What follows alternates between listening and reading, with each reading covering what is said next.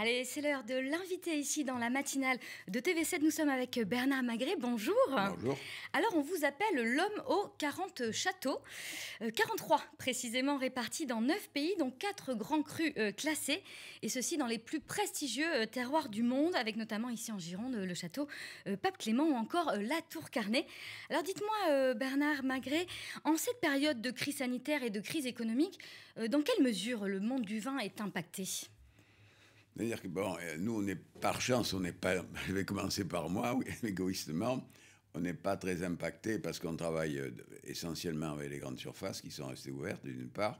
Et en second lieu, il y a des pays comme la Chine, qui, qui, sont un pays qui est là, sur le plan économique, qui est reparti. Et on, a, on est très, très introduit là-bas, on a une équipe, on a tout ce qu'il faut. Et donc, euh, l'entreprise souffre, souffre pas du tout. Voilà. La chance, c'est d'être dans plusieurs pays, c'est toujours pareil. Quand il y en a un qui souffre un peu, d'autres souffrent moins, et, par conséquent, on équilibre l'activité du groupe. voilà.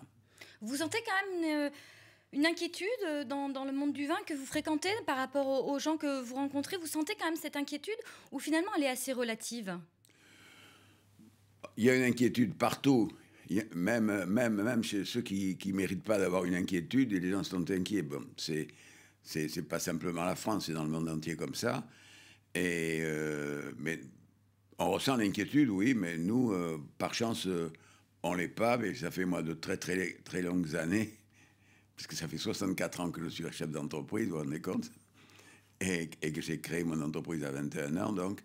Et, donc le, on n'a pas, quand on a pris des chocs dans la vie, vous savez, quand on en prend un de plus, eh ben, par définition, on souffre moins que si c'est le premier choc de sa vie. Voilà. L'expérience donc euh, vous permet certainement de, passer euh, mieux cette crise que les autres et puis également comme vous le disiez le fait de vendre à l'international mais on peut également parler d'une autre partie de votre activité qui est le no-tourisme. Vous avez beaucoup de, prestations euh, dans vos châteaux pour recevoir du public et notamment étranger. On imagine que dans ce secteur-là précisément le no-tourisme c'est un peu plus difficile puisque les voyages et les voyages d'affaires notamment sont un petit peu réduits c'est pas difficile, c'est beaucoup plus difficile dans la mesure où vous dites justement que les voyages, non seulement les voyages étrangers sont quasiment arrêtés, euh, et en second lieu, les voyages français aussi. Les gens ne veulent pas se déplacer pour, pour des raisons quelquefois sanitaires, pour d'autres raisons économiques. Et, là, on souffre réellement. On souffre réellement à la fois dans le, dans le no-tourisme, également dans la restauration et dans l'hôtellerie, où on a des hôtels. Bon. Et, là, c'est, il est certain que c'est, difficile, mais je pense que ça va s'améliorer, je pense que ça va, ça, va s'arranger, quoi, parce que le, on va pas, ça va pas durer éternellement, les vaccins seront là, plus ou moins efficaces, mais fait, à coup sûr efficaces, et par conséquent, je pense qu'en janvier-février, ça, ce sera, ce sera plus agréable. Et déjà, le mental s'améliore parce que, en général, parce que, le, parce que les gens sentent qu'il y a une issue. Voilà. Et le grand combat d'un problème dans la vie, c'est de sentir l'issue. Quand vous sentez l'issue, mais vous vous sentez mieux. Voilà. Par contre, quand vous, quand vous êtes dans le brouillard complet, ben, c'est plus difficile. Justement, il y a une stratégie qu'on adopte dans, ce, dans ces moments-là, euh, quand tout est à l'arrêt, notamment dans le non-tourisme. Qu'est-ce que vous avez mis en place, vous, euh, justement, pour être le moins impacté possible? On utilise le chômage partiel, on est oublié, il n'y a personne. Il n'y a personne. En hébergement, que ce soit au Pape Clément, à la Tour Carnet ou ailleurs, où on a donc la capacité à héberger soit des gens qui suivent l'autotourisme, soit des gens qui voyagent, eh bien, euh, là, on est obligé de mettre chômage partiel, quoi. Mais, mais je pense qu'en janvier, février, au, maximum, on, va, on, repartira, ça reviendra, quoi. Alors on vient de parler du, monde du vin et de l'onotourisme, mais il y a un autre secteur dans lequel vous êtes également impliqué, c'est la restauration, puisque vous êtes propriétaire de la Grande Maison à Bordeaux, un restaurant deux étoiles, que vous avez décidé de fermer temporairement, c'était au mois de juillet. Euh, ma question est, quand pensez-vous réouvrir ce restaurant? Mais on va réouvrir euh, vraisemblablement euh, quand ça ira mieux, quand il y aura des étrangers qui viendront. Euh, bon, ce sera peut-être en 2021, ce sera peut-être en, 2022. Mais surtout, on va. On part, moi, je pars du principe, à tort peut-être, que ce, phénomène de Covid amènera une, évolution dans la façon des gens de, manger et de boire, mais de manger avant tout.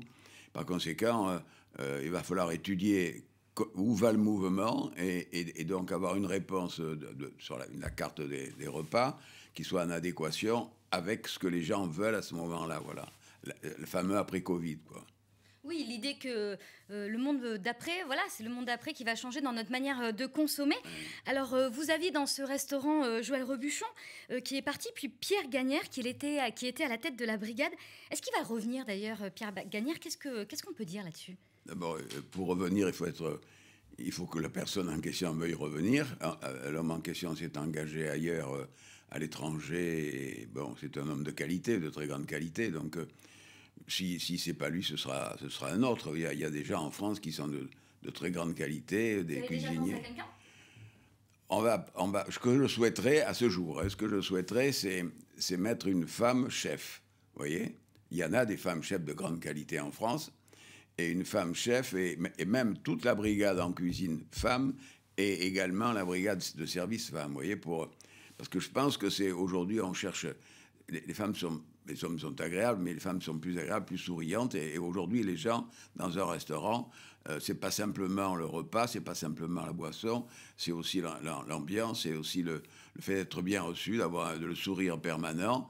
Alors, les hommes ont le sourire permanent, mais les femmes encore un peu plus. Il y, a, il y a plus de délicatesse, plus de gentillesse. À mon avis, je peux me tromper, mais à mon avis. à même qualité, euh, les femmes peuvent avoir euh, peut-être un service. Pour le service, elles sont un petit peu plus agréable. donc ça, je l'entends. mieux peut-être, voyez, elles comprennent mieux l'autre. Et dans la vie, c'est important, c'est de comprendre l'autre, autant dans la vie commerciale que, dans la vie en général.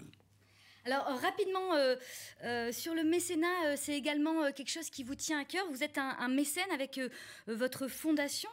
Expliquez-nous un petit peu quelles sont les actions que vous menez en ce sens? Mais il y en a une, une en particulier qui est, qui est une mission là contre l'injustice, à savoir que on a donc, j'aide non seulement Bergonier depuis une douzaine d'années déjà en achetant de l'équipement qui, qui, existe en France ou qui n'existe pas en France, de manière à ce que Bergonier devienne le plus performant possible. Oui, euh, Bergonier qui est un hôpital euh, bordelais, Un hôpital bordelais de, contre le cancer, c'est le deuxième ou le troisième en France, ce sont des gens très compétents. Euh, et, et, parallèlement à ça, j'ai, ça fait 6 ou 7 ans maintenant, j'ai un, orphelinat en Thaïlande euh, où il y a à la fois des, orphelins, des enfants abandonnés, des enfants enlevés de leur famille. Et là, je leur apprends ce qu'ils souhaitent. En général, euh, bon, c'est le, le, digital et, apprendre l'anglais aussi. Et puis aussi les former. C'est des gens qui ont plus, y a plusieurs âges, quoi. Et alors, je parle de l'injustice parce qu'on ne demande pas d'avoir un cancer, madame, et on ne demande pas non plus d'être abandonné, d'être euh, orphelin ou voilà. Et, par ailleurs, bon, on aide aussi dans la musique, on aide les, concertistes en leur achetant des, équipements, enfin des instruments euh, qui sont de très grande qualité, qui amènent ces gens-là, qui ont du talent, à ne pas rester simplement en France, mais aller dans le monde entier, ce qui est le cas. Voilà. Vous êtes engagé d'ailleurs à Bordeaux avec euh, l'Institut euh, culturel euh, qui est fermé actuellement pour raison des crises sanitaires. Alors, est-ce qu'on peut quand même le visiter, cet Institut culturel? Non, parce qu'au début, bon, dès le mois de mars, j'ai vu quelques, enfin, la, la réouverture, j'ai vu quelques problèmes dans la mesure où, où il y a des gens qui se sont plaints que, que devant, devant des œuvres, il y avait, les gens étaient agglutinés, que par conséquent, si, par conséquent là. Alors, que, très franchement, ce que j'ai voulu éviter, c'est que l'Institut culturel devienne un cluster et que et c'est pas ma mission. Ce serait à l'envers de ma mission, si vous voulez. Voilà. Qu'est-ce que vous avez prévu euh, comme programmation euh, sur, quoi vous mettrez l'accent euh, pour la réouverture de, l'Institut culturel On va reprendre ce qui avait été à peine commencé pendant huit jours, à savoir John Wan. John Wan, qui est un, Américain, un, street artiste américain qui est de grande qualité et qui et qui, euh, qui, est qui est devenu une bonne relation pour moi, parce que c'est un type bien, puis c'est un type qui, a du talent, et c'est là. Et après, on va, euh, la deuxième partie, on va faire d'abord, euh, on va présenter comme tous les deux ans la collection de, l'Institut. Et après, on est sur des discussions très simples et avec des gens qui cherchent. Mais aujourd'hui, il y a beaucoup d'artistes qui cherchent, bien entendu, à être mis en avant. C'est logique. C'est un métier magnifique où c'est très difficile d'être connu et reconnu. Donc notre devoir, c'est de faire reconnaître ces gens-là, ou les faire connaître. Merci infiniment euh, de nous avoir rejoints euh, en direct ce matin sur le plateau euh, de cette matinale Bernard Magret. Voilà, on se retrouve tout de suite pour l'information dans votre région Nouvelle-Aquitaine.